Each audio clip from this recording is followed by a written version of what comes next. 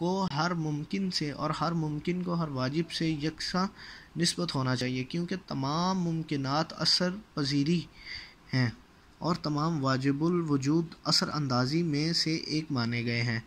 तो अब एक से मानने बगैर कोई चारा नहीं, क्योंकि मुतद हालिक मानने की सूरत में किसी चीज़ की, किसी चीज़ के मौजूद होने की गुंजाइश ही बाकी नहीं रहती और ज़मीन आसमान और कायनात की हर शय के लिए तबाही और बर्बादी ज़रूर करार पाती है। अल्लाह सुबहान ने इस दलील को इन लफ्ज़ों में पेश किया है। लौकान इलाहत सदत। अगर ज़मीन आसमान में अल्लाह के अलावा और भी खुदा होते तो ये ज़मीन आसमान दोनों तबाह बर्बाद हो जाते। चौथा दर्जा ये है कि हर नक्स व ऐब से पाक समझा जाए।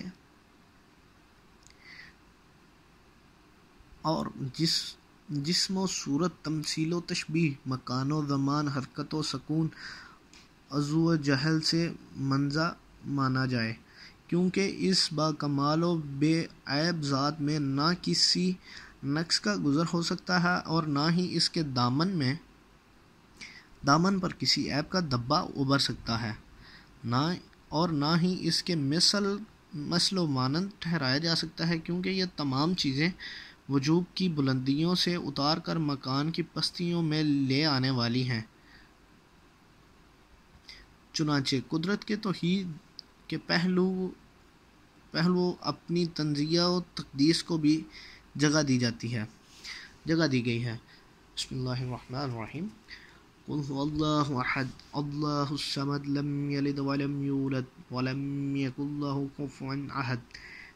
तर्जुमा, कह दो कि अल्लाह यगाना है, इसकी ज़ात बेनियाज है और ना वो किसी की औलाद है और ना उसकी कोई औलाद है और ना ही उसका कोई हम पल्ला है।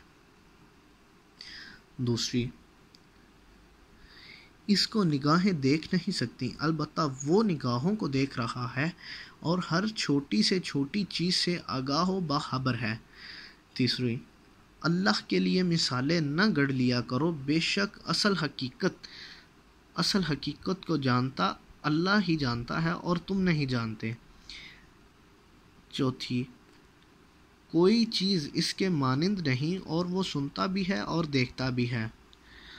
पांचवा दर्जा ये है कि जिस मार्फत जिस मार्फत मुकम्मल होती है, उस कि उसकी ज़ात में सिफ़तों को अलग से ना समोया जाए ताकि ज़ात अहदियत में दुई की झलक पैदा हो जाए और तोहीद अपने सही मफहम को खोकर एक तीन एक तीन और तीन एक के चक्कर में पड़ जाए, क्योंकि इसकी ज़ात जो हर हर वो जोहर अर्ज़ का मजमु नहीं।